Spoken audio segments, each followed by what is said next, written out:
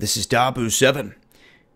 We have reports from multiple outlets here Yahoo Independent, citing TASS news agency, saying that Vladimir Putin has ordered a snap check out of the country's armed forces, saying that they're checking to see if the troops are ready for battle.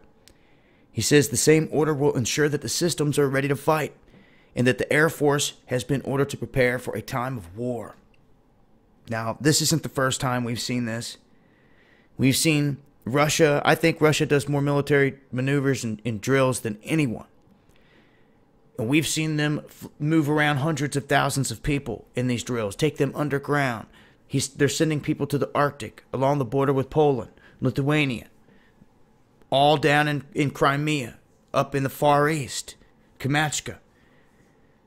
They're all over with their drills and making a lot of moves in, in, in the Arctic, in the far north, because they have a lot of ice crushers. Like 2030, America only has a couple.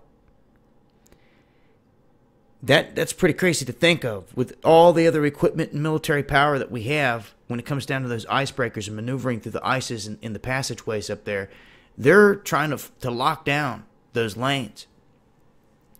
But Russia's making moves here and you know, one of these times something big is going to pop off. Is it going to be nuking the USA? Well, that's a long way to go uh, from Russia. You know, if that's the kind of strike that's going to happen, it would be by sub from them or or another way. I'm not saying they couldn't pull it off, you know, from space or any other way, but to me, in this world stage, uh, with the boogeyman ISIS running around and knowing that they created it and that, uh, to me, I've seen this before so many times. I mean, yes, it's different now. We have tr- a uh, Trump administration in office, and I will say that this is the first time they've puffed up, so to speak, flexing their muscles and big drills since Trump has been in office. But, you know, take it for what it is. I mean, who knows what could come of this? They could send troops across into Ukraine tomorrow, for all I know, and it'd be something completely unexpected. And to be honest with you, that's if you're going to do it, that's how you want to do it is something unexpected. Um, you don't tell the whole world you're about to punch, punch them in the face. You know, you you think smart, and there's a uh, there's a lot of tactics that that Russia can use in a war in, on these battlefronts. But I'll say this: we are mounted up with the U.S., NATO.